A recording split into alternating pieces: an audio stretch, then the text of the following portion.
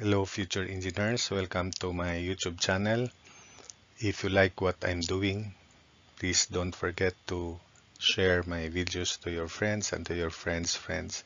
And of course, if you're if this is your first time, don't forget to subscribe because that will energize and keep me going. Determine the vertical displacement of B by Castigliano's second theorem and the horizontal deflection of C by virtual work method. E is 200 gigapascals. Cross-sectional area of members in millimeters square are enclosed with parentheses. So here is the figure. So first let's compute the vertical reaction at A since at B there's a 100 kilonewton load and it will lengthen if we apply a force P upward at B. So we'll just set this downward load as P to have a solution that is different from the preceding solutions so that you will also be exposed to another way of solving the problem. So meaning if the result is positive, so the vertical displacement at B would be downward, which is obviously downward, of course. So summation moment about C equals 0.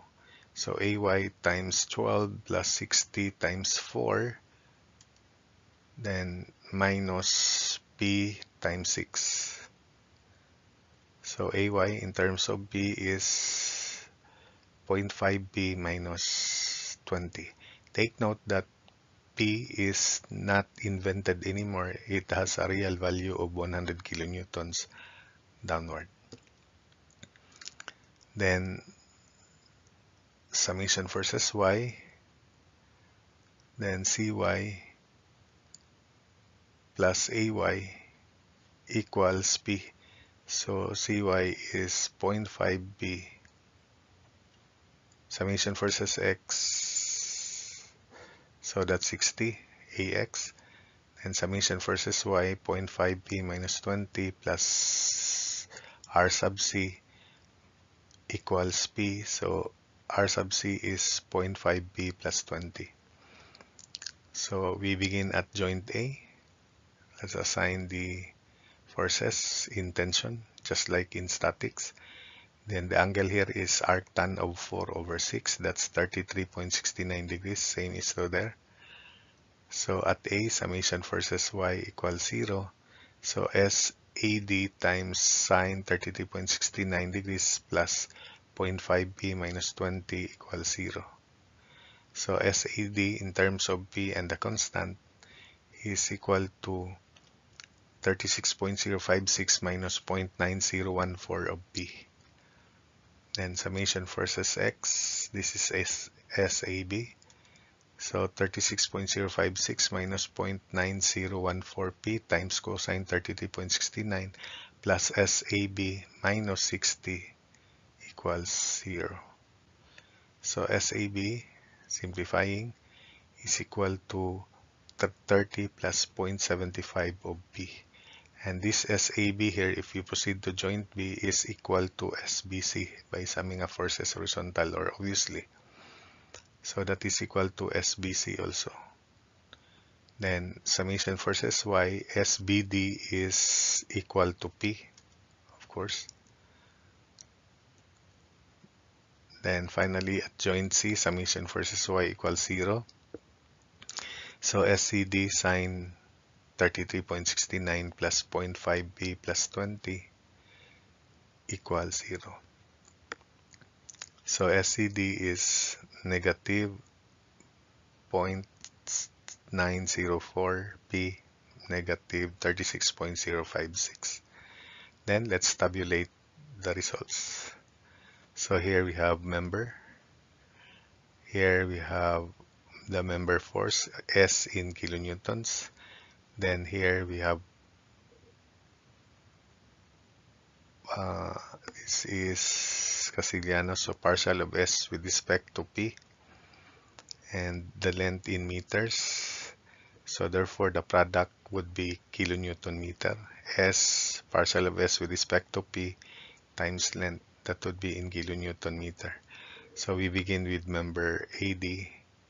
Its stress is 36.056 minus 0.9014 P. The partial derivative is negative 0.9014 its length is square root of 6 square plus 4 square. Square root of 6 square plus 4 square for length AD. That's 2 square root of 13 meters. Then the product of S, so take note P has a value here, 100. So 36.056 minus 0.9014 of 100 times negative 0.9014 times 2 square root of 13. That would be 351.55 so there is color coding because AD, CD, AB, BC have the same area of 300 mm square only BD has an area of 200 so let's place it at the last. So next member is AB which is 30 plus 0.75B so the partial derivative with respect to P is 0.75 and the length is 6 so the product with B100 is 472.5 next is BC which is equal to AB so we copy everything. 30 plus 0.75 B 0.75 6 and 472.5 then for member CD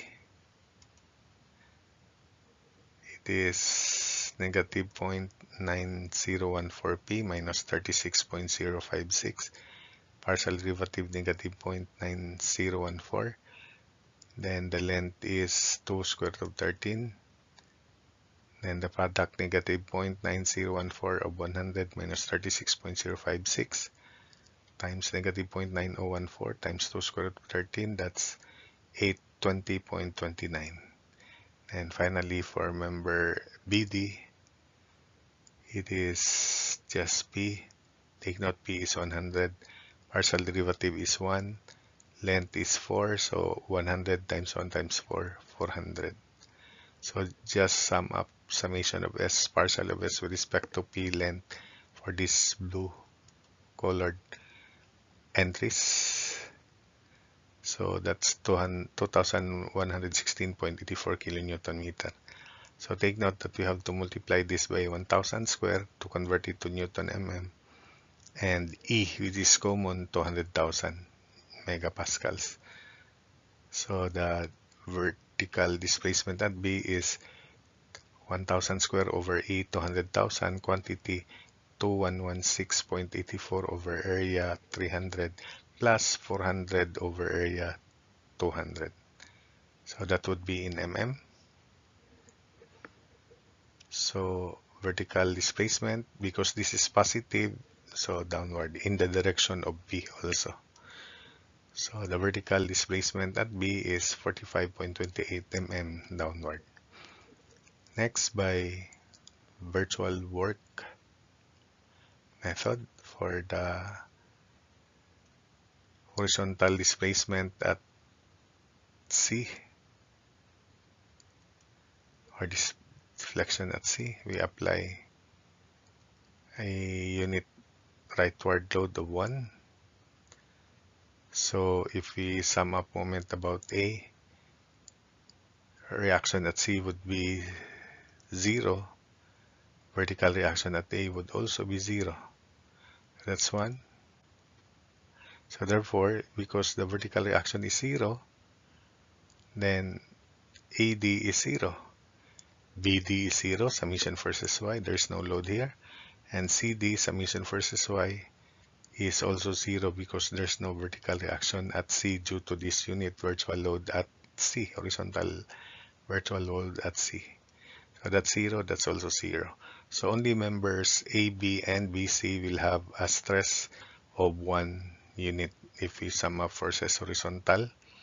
So UAB is 1, UAB minus 1 equals 0. Summation forces x at A.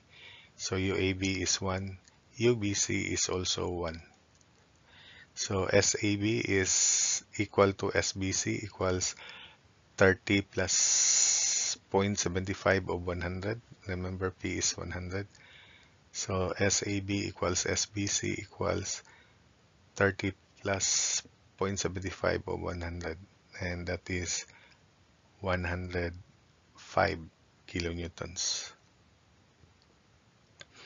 So take note that the displacement is summation of Sulai SUL over AE where U is 1 for members AB and BC. So if we concentrate on AB, we multiply the displacement by 2. So delta C horizontal equals 1000 square common over 200,000 times quantity S 105 U1 length 6 over area 300 and this is for member AB alone. So for BC we multiply it by 2 the whole value because they are equal. Therefore delta CH is equal to 21.00 mm rightward. So that's it for this problem. I hope that you were able to follow the solution and understand